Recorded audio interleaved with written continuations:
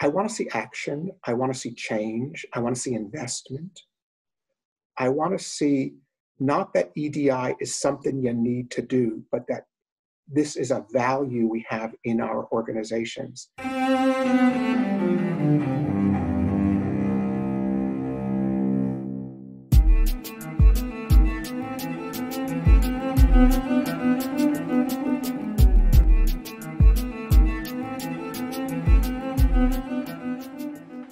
Welcome to Arts Engines. I am your host, Aaron Dworkin. It is great that you are able to join us for today's guest, who is Michael Kaiser, who oversees the DeVos Institute and who has an incredible history. You can look everything up online uh, in terms of really being, if you will, one of our arts leaders, arts leader.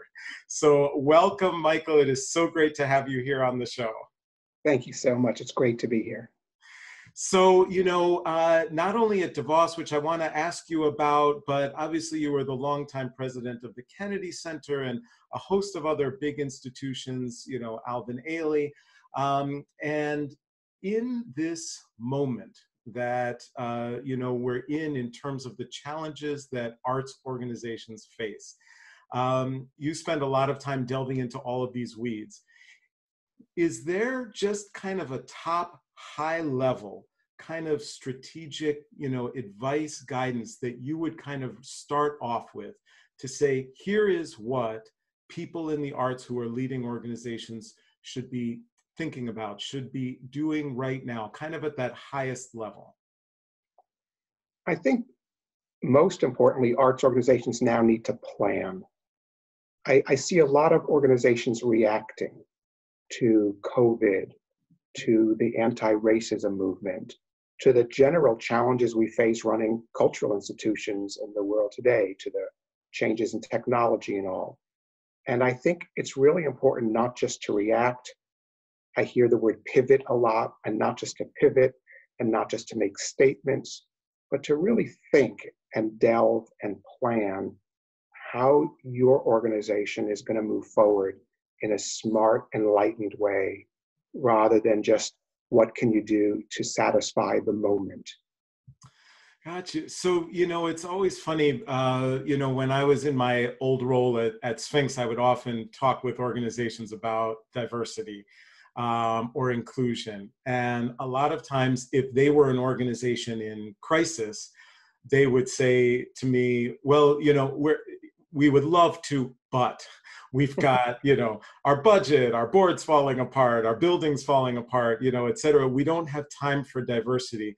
For in this instance for organizations as you kind of talk about the planning what do you say to those organizations who say well we'd love to plan but but we can't because we're you know just figuring out opening our doors or we're just trying to figure out the gap in our budget or what do you say to those who are consumed by the present about the fact that I really don't have the time or space to plan? I say two things. The sort of smart alecky answer is that's exactly what people are saying about the arts in our community. And when we say the arts are so pivotal, and people say they're extra. Um, so that's the sort of smart aleck answer. But the, the more substantive answer is I'm trying to help arts organizations make the next year easier, not harder. And I find that if you don't plan and act in a thoughtful way, you get your life gets harder each year, not easier.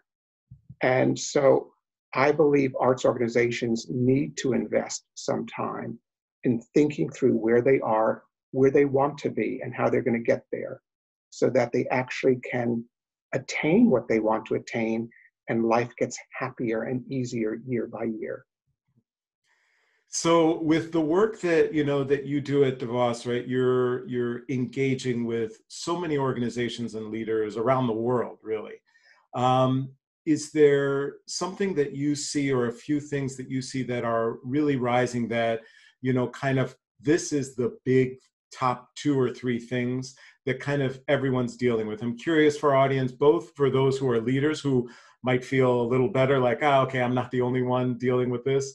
Right. Uh, but then also, you know, the practitioners and the artists and the audiences who also are, are tuning in to go kind of what are what are our institutions facing? Are there a couple, two or three things that are rising to the top? Sure. Well, sort of the obvious answers are that we're dealing with COVID and its impact on organizations and the loss of earned income, basically no ticket sales for a while. And the other is the need to join the anti racist movement and the need to do this thoughtfully and not just issue a statement, but to really make change. Those are two that are huge and important. And I don't want to minimize them, but I want to talk sort of pre COVID and pre the immediate um, recognition of the need to fight racism and say that in general, what I think arts organizations need to do is to really be thinking about how they build their revenue streams. I've, I've done a lot of analysis of arts organizations um, of all different kinds. And so many have not been able to build their earned income over the last decade since the last recession. And so they're relying increasingly on contributed income. There's nothing wrong with that except I believe we're wasting an opportunity.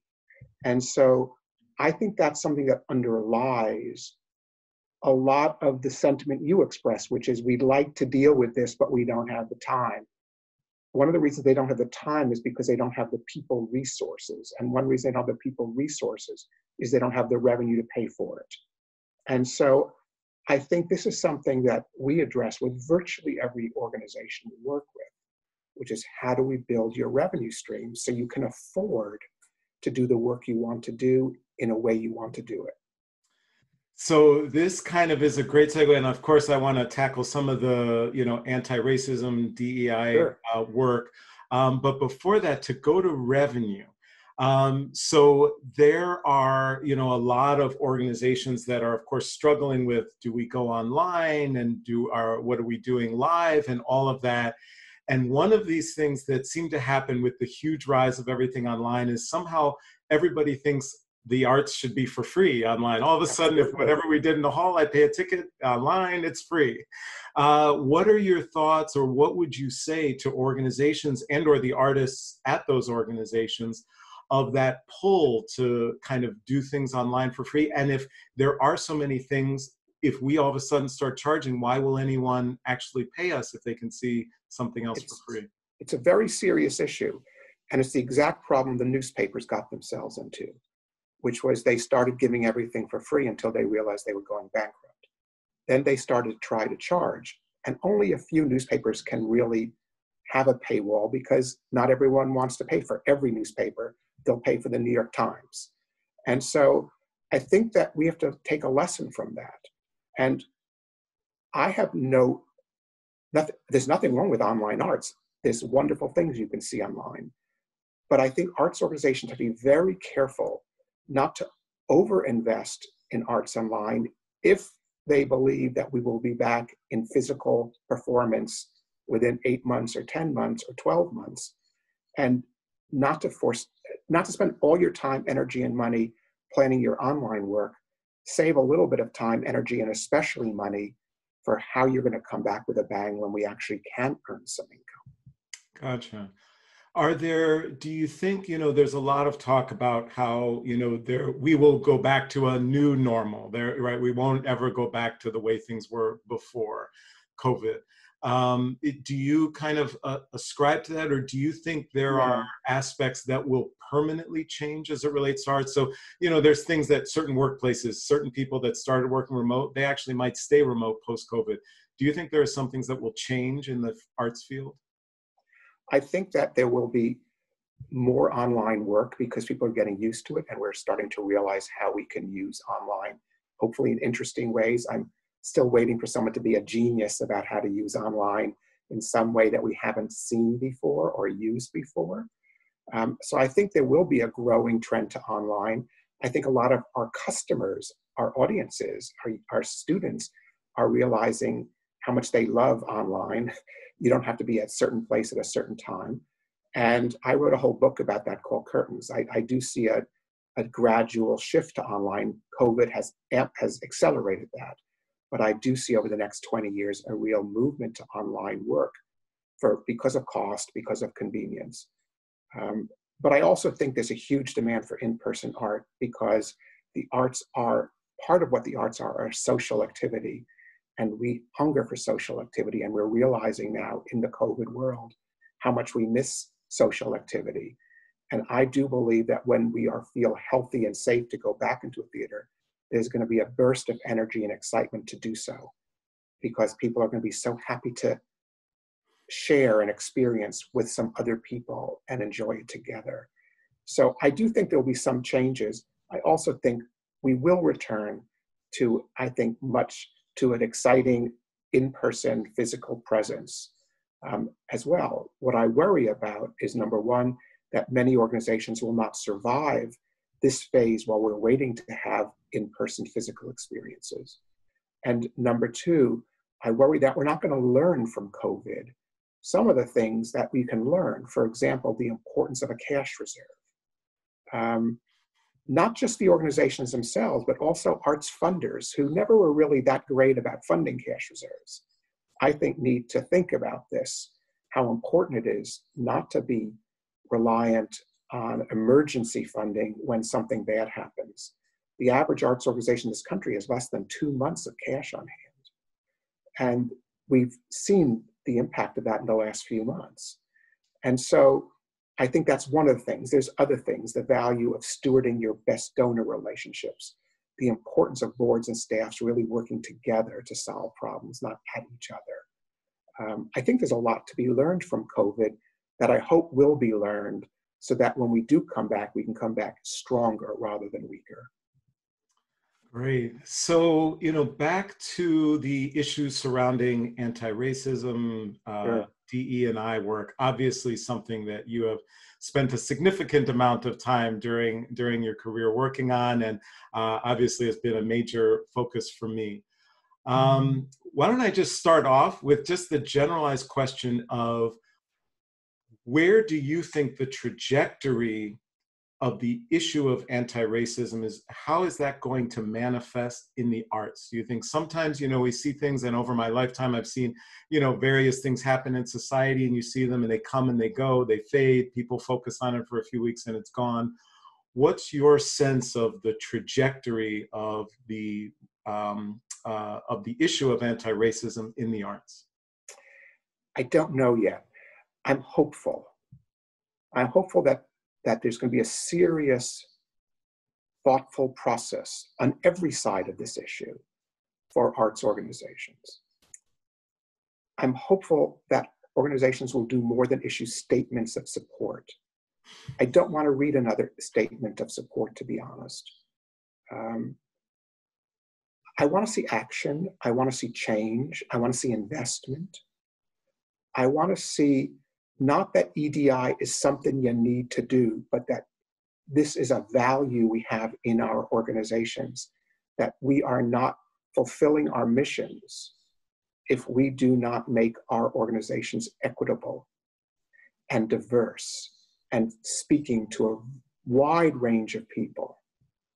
And I'm hopeful that we can engage in this people of color and white people together in a thoughtful, planned way to really make change within organizations and not just to issue statements or set up a task force or try a little harder to get board members of color or try a little harder to get staff members of color. That's not enough. And I don't think this can be rushed. I don't think the answers are easy. And I think they require a lot more than a statement of solidarity. Yeah, absolutely. And what do you say to, you know, we obviously can't tackle, you know, every organization's issues relating to, say, diversity or inclusion because they're so varied and what different organizations have, have to do is, is different. Um, but what do you say generally to the organizations, which we certainly could hear from a number of them? We've got COVID issues. We have these things. I don't have the money to invest in, I, I'm not racist. I love diversity, but I don't have the money or the bandwidth or the time or the staff. What what what can I do? What should I do? What what, what do you how do you respond to that? Unfortunately, when you say I'm not racist, but I don't have the time, that's to me sounds racist. Um, so I don't I don't accept that as an answer. And I think what has to, as you said, in each case it's a bit different. And in each case, that means you have to do some deep thinking, not just personal soul searching, but real thinking and analysis of what is right in our organization and what is wrong in our organization. And how are we going to address the things that need to be addressed? And then we have to do it, not all at once, because you can't. Not just financial resources, but changing organizations in any way, forgetting the topic, takes some time. It takes thoughtful adjustment and change and, and real measuring that change and working towards a goal. But you have to do that work. And I don't think we have an option right now, or we should never have had that option. um, but I think now we have to address it. We can't say we don't have the time. And I'll be really honest with you, Aaron.